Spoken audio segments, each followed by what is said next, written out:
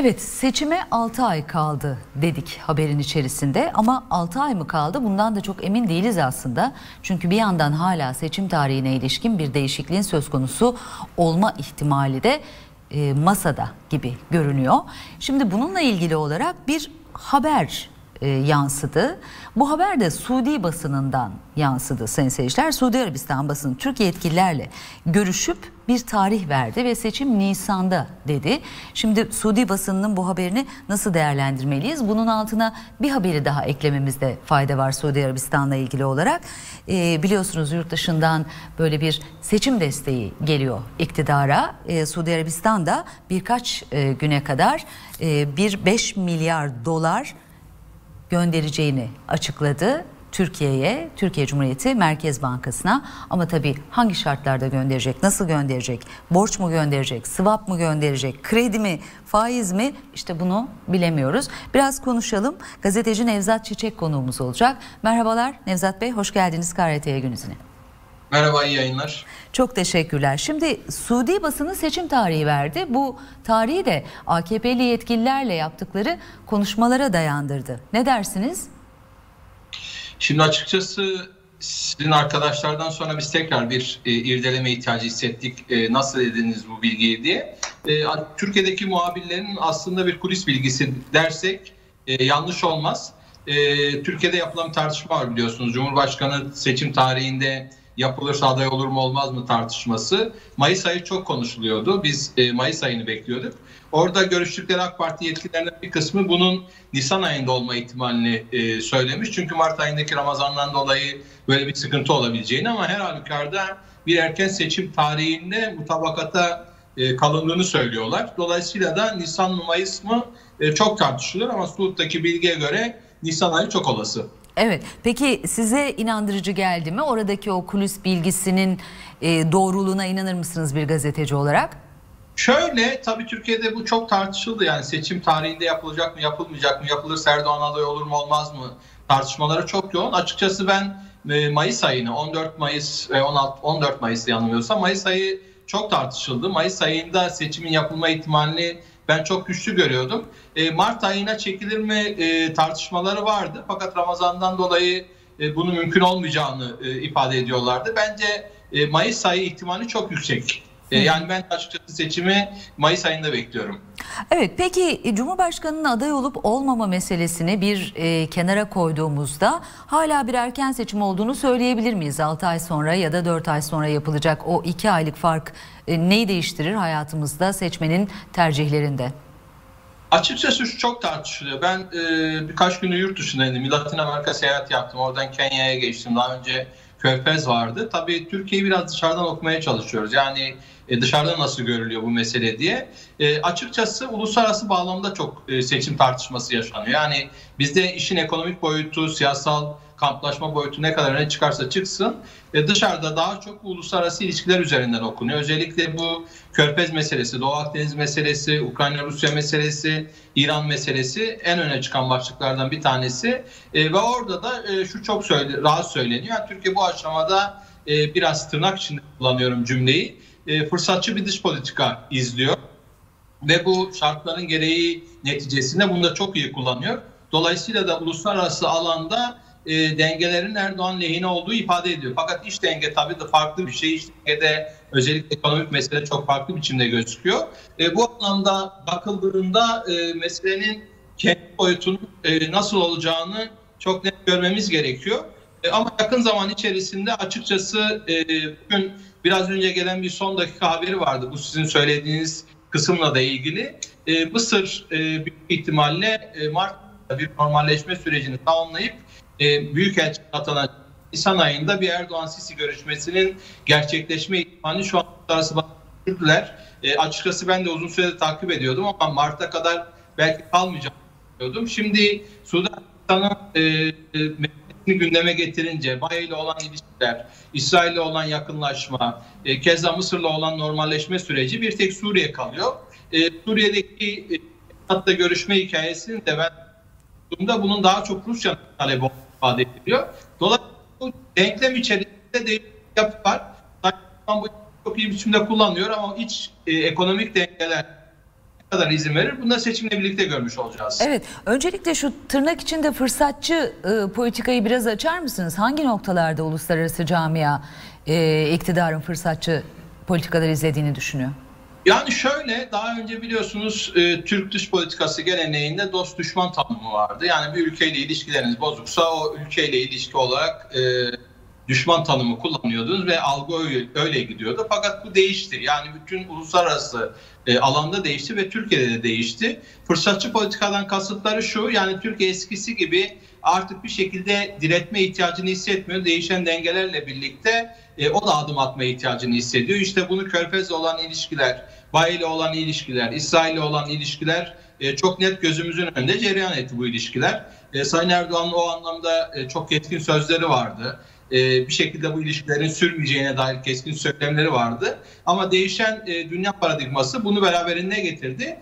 E, bu açıkçası sadece Türkiye açısından da okunmamalı. Şöyle, mesela Suudi Arabistan e, bu hafta içerisinde Çin'i e, Araplarla buluşturdu. Biden'ı buluşturduğu gibi ve bu açıkçası bir meydan okumaydı. E, aynı şekilde Mısır Arap Ligi ile birlikte Suriye'nin konumunu çok öteden beri gündeme getiriyor. Bu da farklı bir konumdaydı. Rusya-Ukrayna meselesinde Türkiye'nin tavrı tam da bu bahsedilen tırnak içindeki ifadeye çok uyuyor.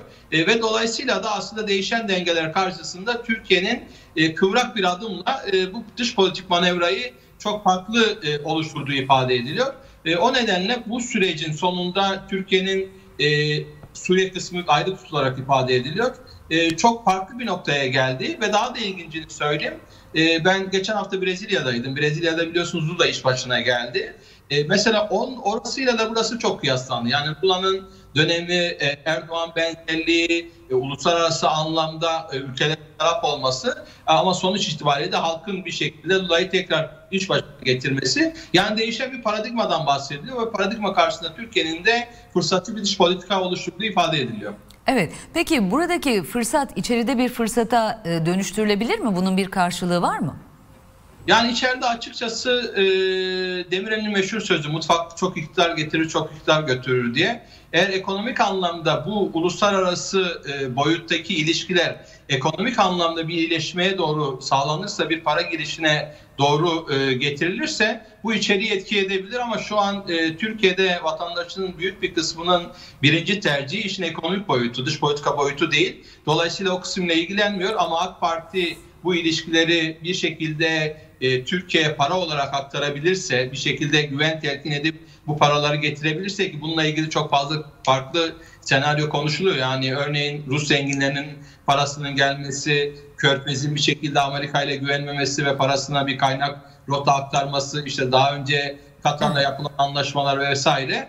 E, bunu yapabilir mi? E, bunu göreceğiz ama her halükarda Türkiye'de seçmenin e, birinci tercihinin şu an ekonomik mesele olduğunu altını çizmek gerekiyor. Evet bu noktada yine Suudi Arabistan devreye giriyor ve birkaç güne kadar 5 milyar dolar e, gönderecek Türkiye Cumhuriyeti Merkez Bankası'na bunun açıklamasını yaptılar.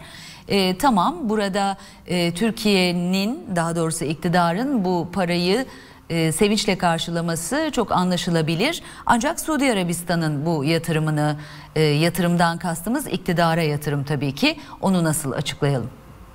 Şöyle açıkçası çok net ifade edeyim. Yani Türkiye-Suud ilişkileri gerginleştiği dönemde de Baye ile de ben Körfez'e çok sık gidip geldik. Ee, onu şunu bir ayırmak gerekiyor. Yani Körfez'in tabii ki iktidar e, Sayın Erdoğan olduğu için Erdoğan'a bakışı farklıydı. İlişkilerin bozulma sürecinde de böyleydi. Ama genel olarak Türkiye devletine ve Türk dış politikasına bakışının ayrı olduğunu altını çizmek gerekiyor. E, ikinci soru olarak da şunu sormak gerekiyor. Türkiye bu adımı attı. Körfez'de bu iyileştirme adımını attı. Suudi Arabistan'a kaçtı ve diğer meselelerden dolayı bir adım attı ama Suudi bu adımı atıyor veya e, Baye niye bu adımı attı veya Mısır niye bu yönde bir adım atıyor sorunu da sormak evet. gerekiyor. Aslında karşılıklı bir çıkar ilişkisi söz konusu. Bu çıkar ilişkisi neticesinde e, şekillenen bir politik argüman var. Çünkü e, Suud'un Amerika'ya karşı ki yakın zaman içinde demokratlarla e, yansımalarını göreceğiz. Bunun iç yansımalarını çok net biçimde bölgede görüyoruz. E, çok güven telkin eden politika olmadığını biliyoruz. Özellikle Afganistan'ın çekilme, İran nükleer müzakerelerinde Körfez'in dışlanması e, onların da bir e, arayışı içerisine girdi ve dolayısıyla bu arayış içerisinde Türkiye'deki ekonomik krizden kaynaklı olarak da e, bazı şirketlerin daha ucuz olması, e, bazı yatırımların daha e, karlı olması onları bu sürece doğru itiyor. Onlar kendi çıkarlarına bakıyorlar. Türkiye kendi çıkarlarına bakıyor. Ama sonuç itibariyle meseleyi siyaseten mi okumak gerekiyor, ticareten mi okumak gerekiyor derseniz ikisini birleştirmek gerekiyor ama sonuçta kar hesabı yaptığınızda Körfez burada çok zararlı çıkmıyor e, konuşmasını evet yapmak gerekiyor. E, evet ama galiba orada Türkiye'nin çıkarıyla e, belki iktidarın çıkarını da ayrı e, kullanmak lazım e, cümleyi kurarken öyle değil mi? Tabii sonuçta bu ekonomik krizde e, siz yaptığınız bir yatırım ne kadar ticari olursa da olsun bu sonuçta hükümetin e, lehine bir e, manevra olarak yazılıyor. Oradaki ilişkilerin iyileştirilmesi noktasında tekrar altını çizeyim. E, yani Türkiye Cumhuriyeti Devleti ile iktidarı bir şekilde ayırmak gerekiyor. Fakat şu anki haliyle ilişkilerin normalleşme süreci AK Parti üzerinden okunabilir mi? Evet AK Parti üzerinden okunuyor. Çünkü iktidarda evet. var. E, ama bu e, ekonomik mesele siyasal anlamda mı birinci öncelik olarak karşımıza çıkıyor? Bana göre çıkmıyor. E, fakat reel okuması böyle değil tabii. Evet tabii şimdi burada eğer e, Körfez sermayesinin şimdi burada e, Suudi Arabistan'dan gelecek e, para üzerinden yine konuştuk. Körfez sermayesinin e, Erdoğan'ı desteklediğini söylersek eğer e, burada Erdoğan'ın değişimini istemiyor biçiminde bunu okuyabiliriz zannediyorum. E, bunun da anlamı e, zannediyorum Türkiye'de e, rahat ediyor olmalarından kaynaklanıyor olsa gerek. Şimdi mesela biz bu paranın swap mı, borç mu, depo mu nasıl verildiğini bilmiyoruz. Faiz mi, kar payı mı ödenecek bilmiyoruz. Yani bu paralara ilişkinde böyle bir şeffaflık da e, yok anladığımız kadarıyla. Benci Hanım ben açıkçası bu kadar ilişki üzerine yazacağım yazın ipucunu vereyim size. Ee, yani çok enteresan bir yaklaşım var. Ee, burada küres, Cumhur İttifakı çok konuşuluyor. Aslında biraz küresel Cumhur İttifakı gerçekleşti mi sorusunu sormak gerekiyor. Ee, bu tam bahsettiğiniz ilişkiler üzerinden yani ülkelerin çıkarları üzerinden e, benim edindiğim izlenim e, 11 ülkenin Erdoğan'ın iktidarının devam etmesi noktasında çok net tavrı var. Bunun içerisinde evet. Görkem Evet ama bu başlı başına bir soru işareti değil mi Nevzat? Tam oraya geleceğim. Tam oraya geleceğim. Rusya'sı var, Azerbaycan'ı var, e, Arnavutlu var falan. Şimdi bu ilişki devamı noktasında temel argüman Sayın Erdoğan mı Türkiye mi sorusunu sormak gerekiyor. E, tabii bir kısmına göre Sayın Erdoğan ama bana göre Türkiye'nin uluslararası alandaki şu anki pozisyonu e, ve değişen dış politika argümanı. Yani eğer siz bana bu soruyu 5 ay önce böyle bir şey gerçekleşebilir mi der demiş olsaydınız e, ben edindiğim izlenimlerde hayır böyle bir şeyin ihtimali çok zayıf derdim. Fakat şu an edindiğim izlenim özellikle bu dış politikadaki manevra değişikliği e, bu anlamda bu ülkelere yakınlığı beraberinde getiriyor. Çünkü herkes çıkarına bakıyor. Çıkar da şu yani Rusya-Ukrayna meselesinde nerede duracağız? Bize yansıması ne olur? ABD-Çin meselesinde meselesi ne olur? Şimdi 5 milyar dolardan bahsediyoruz. Şimdi enerji fiyatlarındaki bu kadar dalgalanmayı göz önünde bulundurduğunuzda Suud açısından veya Körfez açısından 5 milyar dolar çok büyük para değil. Bizim için çok önemli bir para ama çok para değil. Çünkü onlar zaten bu e, özellikle petrol fiyatlarının bir şekilde istikrara kavuşması noktasında üretim kaynaklı olarak onların cebine para istikrar olursa bu onların en çok giden taraflardan biri oluyor. Veya Rusya'da biliyorsunuz Ukrayna'ya savaşıyor ama Rusya neredeyse Ukrayna Savaşı'nın finansmanını petrol üzerinden yani artan petrol varil fiyatları üzerinden e, karşıladı. Dolayısıyla da mesele biraz böyle bakmak gerekiyor. Ama şunu da çok net söyleyeyim. E, esas soru şu. ABD Avrupa Birliği e, bu işin neresinde sorusunun cevabı hala onlar bu konuda bir tavır içerisine girmiş değiller. Ben kastettiğim şey biraz daha Körfez, biraz daha Rusya, Ukrayna ve diğer ülkelerden kasıt 11 ülkeyi söyledim. Ama esas evet. olarak ABD Avrupa Birliği'nin ne yapmak istediği ilgili sorunun karşılığı hala cevap Evet az önce e, Cumhurbaşkanı'nın seçilip seçilmeme başlığını bir kenara bıraktığımızda iki ay neyi değiştirir e, diye konuşmuştuk. Bu noktada da yine e, ekonomi ve ekonominin sokaktaki yansıması çok önemli. Şimdi bir takım paralar Türkiye'ye geliyor. E, ayrıca Merkez Bankası'na da bir borçlanma yetkisi verildi biliyorsunuz. Yani orada da bir borçlanmaya gidilecek e, belli ki. Çok ciddi rakamlardan söz ediliyor. Dolayısıyla bir e, o anlamda bir bolluk yaşanabilir ama bunun erimesi de o kadar çabuk oluyor ki e, bu, bu erimenin önüne geçmek ya da bu erimenin hissedilmemesi bakımından iki ay önem kazanabilir mi ne dersiniz? Valla Remzi Hanım şunu çok net söylemek lazım. Hepimiz bu ülkede yaşıyoruz. Ee, seçime kadar bir şekilde iktidarın bu seçimi kazanma noktasında elindeki birçok şeyi harcayacağı ile ilgili çok net tavrı var. Bunu da görebiliyoruz. Yani EYT'den tutun birçok soruna kadar ama işin ekonomik boyutunu yansıtmaya kadar bence esas sorulması gereken soru 2023'ten sonra Türkiye'de nasıl bir ekonominin ortaya çıkacağı ve bunun yansımasını konuşmak gerekiyor. Yoksa bu 4-5 aylık süreç içerisinde para bulunur, para borç alınır, piyasaya verilir, piyasadan alınır. Yani bir şekilde mesele edilebilir ama sonrasında ne olacak? Yani devlette devamlı hesap alınan paraların nasıl ödeneceği dış açığın falan. E, bence evet. esas tedirgin edilmesi gereken, bizi tedirgin etmesi gereken yer bu. Ama şunu da çok net Türkiye'de şu an vatandaşın onu düşündüğü falan yok. Vatandaş kısa sürede e, bir şekilde bu pahalılığın sona ermesini, ekonomik anlamda satın alma gücünün daha iyileşmesini e, önemsiyor. E, AK Parti'ye oy veren kitlenin de büyük bir kısmında bunda çok etkili olduğunu biliyoruz. Türkiye'nin genelinde etkili ama seçmenin oy verme kısmında AK Parti seçmeni için bu biraz daha etkili ve liderlik vasfı etkili.